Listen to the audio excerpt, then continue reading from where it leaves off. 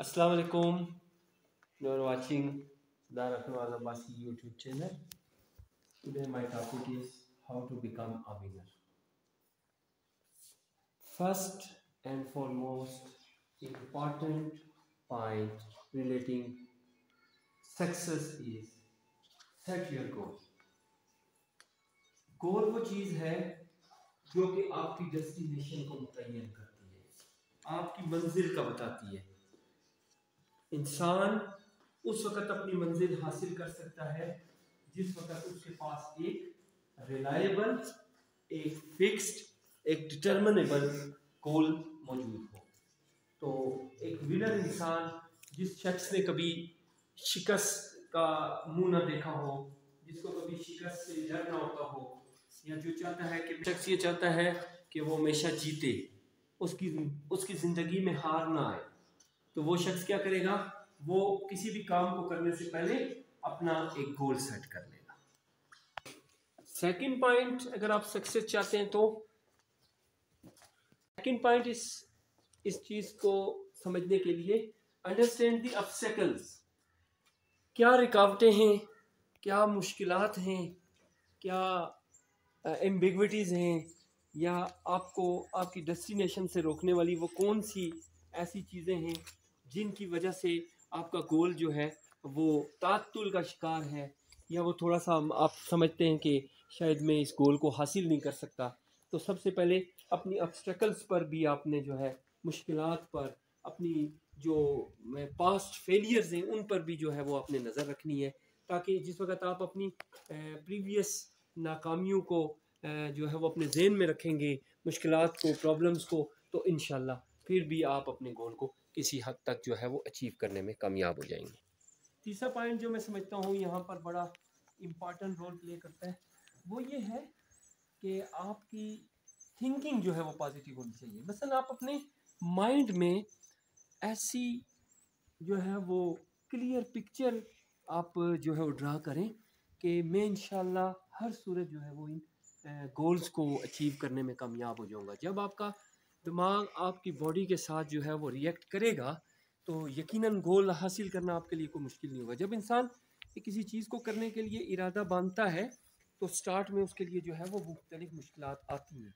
लेकिन जिस वक्त उसका माइंड उसे ये कहता है कि इस दफ़ा नहीं तो नेक्स्ट टाइम नेक्स्ट टाइम नहीं तो फिर नेक्स्ट टाइम जो है वो मैं इस काम को इन करूँगा या कर लूँगा तो एक वक्त आता है कि फिर जो है वो कामयाबी उसके कदम चूम लेती है। तो क्लियर पिक्चर होनी चाहिए आपके माइंड में किसी भी काम को करने से पहले।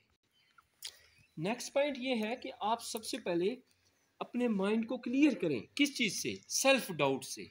ये हो जाएगा हालात ठीक नहीं है। मेरे साथ के लोगों ने, मेरे दोस्तों ने ये काम स्टार्ट किया था तो उनको जो है वो नाकामी हुई थी तो मुझे भी होगी। सबसे पहले अपने माइंड को क्लियर करें कि आपका और उनका कंपैरिजन नहीं है। मे बी उन्होंने उस चीज़ के लिए जो सूटेबल टाइम है वो ना दिया हो। हो सकता है उन्होंने अपनी मुकम्मल सलाहियतों को इस्तेमाल ना किया हो। हो सकता है वो गलत डायरेक्शन में चले गए हों। हो सकता है उनके पास मुस्तकिल जो है वो कोई गोल नहीं मौजूद था। तो ऐसा मुमकिन नहीं है।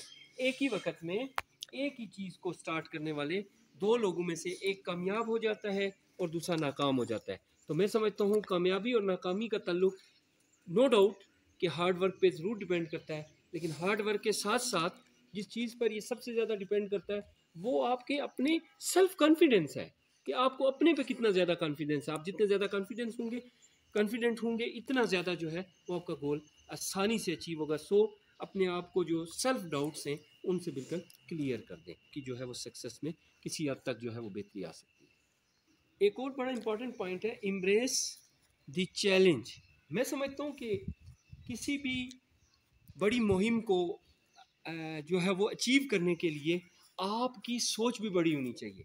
खुशी खुशी खुशी खुशी चैलेंज को कबूल करें। कोई भी नहीं करता तो ज़रूरी नहीं है कि कोई नहीं करता तो मैं भी ना करूँ। अगर मैं समझता हूँ कि मेरे में इतनी सलाहियत है, मेरे में इतनी कैपेबिलिटीज़ हैं, मेरे में इतनी एबिलिटीज़ हैं, मेरे में इतना जो है वो सेल्फ कॉन्फिडेंस है कि मैं किसी चीज़ को आसानी से अचीव कर सकता हूँ तो मुझे ज़रूर उस चैलेंज को लेना चाहिए, उस चैलेंज को अपना लाइफ का मोटिव बनाना चाहिए और उस मोटिव को जो है वो प्रैक्टिकली इम्प्लीमेंट करके जो है वो उससे आउटपुट भी दिखाना चाहिए। तो मैं समझता हूँ, जिस चीज़ को आप खुशी से करेंगे, याद रखिएगा, एक काम है, उस पर आपकी ग्रिप है, लेकिन आप उसे नाराज़गी से या किसी के कहने से या बाई फोर्स करते जैसे अक्सर बच्चे मैंने देखता हूँ कि सब्जेक्ट सिलेक्शन के टाइम जो है वो जिसे उनसे पूछा जाता है कि आपकी सब्जेक्ट सिलेक्शन किस स्पेस पे है आप क्या करना चाह रहे हैं तो वो बेचारे कोई उसका जो है वो रीज़नेबल आंसर नहीं दे सकते बल्कि वो होता क्या है वो होता ये है कि वो पेरेंट्स की प्रेशर की वजह से जो है वो सब्जेक्ट सेलेक्ट करके अपना पूरा जो है वो लाइफ या अपना पूरा करियर वो ख़राब कर जाते हैं। तो ये इससे बेहतर ये चीज़ है कि आप किसी के प्रेशर को लेने के बजाय आप खुद से जो है वो ए, अपनी जो है वो एक डायरेक्शन बनाएँ और खुशी से किसी भी चैलेंज को एक्सेप्ट करने के लिए रेडी रहें। इससे भी सक्सेस में बहुत ज़्यादा आपको फ़ायदा हो सकता है। पॉइंट जो है, वो ये है कि आपने वर्ल्ड को ये गोल्स अचीव करके ये चीज़ दिखानी है कि आई कैन डू इट मैं कर सकता हूँ। मैं ये कहता हूँ कि आप नहीं कर, मैं नहीं कर सकता। ये हर शख्स कर सकता है।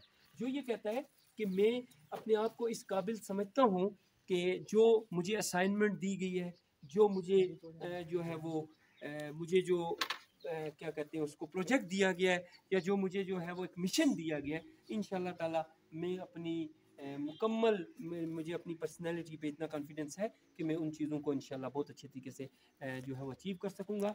तो स्टूडेंट से मेरी रिक्वेस्ट है कि ये वो चीज़ें हैं जिनसे आपकी लाइफ चेंज हो जाती है। ये वो चीज़ें हैं जिनकी वजह से आप जो है वो एक फेलियर से एक सक्सेस की तरफ़ चला जाना जा, जाना शुरू कर देते हैं। तो ज़रूरी है कि आप जो है वो हमेशा फेलियर की लिस्ट में ना रहें। अपने आप को बूस्ट करें, अपनी सलाहियतों को, अपनी स्किल्स को और सबसे बढ़कर अपनी सोच को और एक गोल अपना मुतन करें लाइफ के लिए। इन जब आप उसके लिए ten years twelve years fifteen years twenty years even जो है वो दिल लगा कर मेहनत करेंगे तो इन वो डेस्टिनेशन जो आपने 20 साल पहले सोची होगी, वो एक दिन आपको मिलेगी और वो उस वक्त जो आपको खुशी होगी, वो सिर्फ़ आप जानते हैं और आपका अल्लाह जानता है। और आप जब वो फीलिंग किसी के सामने शो करेंगे तो मे भी आप वो शो ना कर सकें, लेकिन आप बड़े खुश होंगे। क्यों? क्योंकि आपने उसके लिए बहुत ज़्यादा मेहनत की होगी। उम्मीद है आपको आज की वीडियो बहुत अच्छी लगी होगी। मेरे चैनल सरदार हकनवाज अब्बासी को सब्सक्राइब कर दें और बेल आइकन को प्रेस कर दें। आने वाले वक्त में इंशाल्लाह इससे भी बेहतर मोटिवेशनल स्टोरीज़ आपके लिए या मोटिवेशनल जो है वो लेक्चर होंगे, जिससे आपके बच्चे या आपके दोस्त वगैरह आपके मिलने वालों की जो है, वो लाइफ को इंशाल्लाह चेंज करने में हेल्पफुल होंगे। Thanks for watching